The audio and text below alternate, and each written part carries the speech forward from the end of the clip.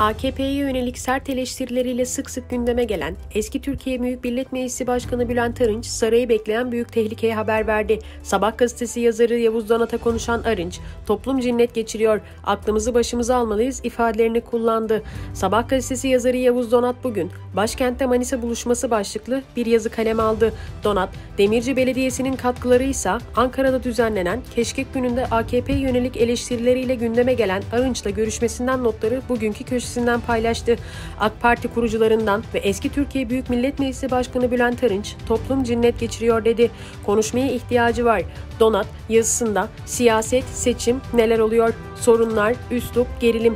Bülent Arınç'ın penceresinden neler görünüyor? Başbakan Yardımcısı Arınç 1969'dan bu yana siyasetin içindeyim diyerek söze başladı. Siyasetteki üslup kat kat topluma yayılıyor. Böyle olmamalı. Kucaklayıcı, uzlaşmacı bir siyaset üslubuna ihtiyaç var. Belli ki Bülent Arınç'ın dili şişmiş. Bu bir Anadolu deyimi, konuşmaya ihtiyacı var ifadesini kullandı. İşte Donat'ın Arınç ile yaptığı söyleşiyle ilgili yazının bölümü. Üslup önemli sorun. Konuşmalar yapıldı, kurdele kesildi. Sonra Bülent Arınç ile bir köşeye çekildik. Siyaset, seçim, neler oluyor, sorunlar, üslup, gerilim. Bülent Arınç'ın penceresinden neler görünüyor? Başbakan Yardımcısı Arınç 1969'dan bu yana siyasetin içindeyim diyerek söze başladı.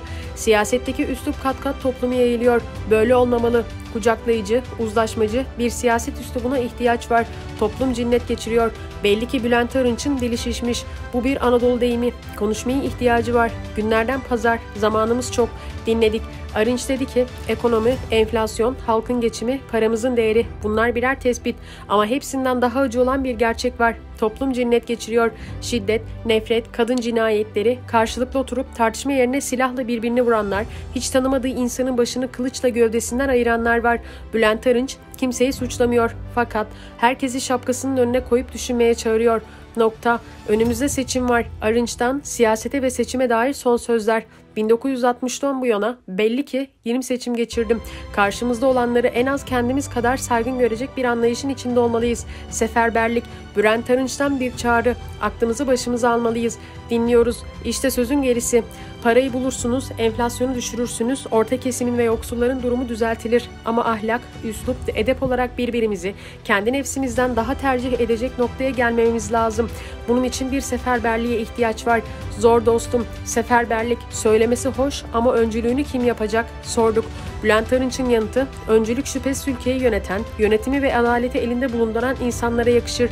Bugün siyaset öylesine keskin, ortalık öylesine toz duman ki tepeden gelecek bir çağrının muhalefet cephesinde karşılık bulabilmesi zor. Hem de çok zor. Hani bir şarkı var ya, zor dostum zor.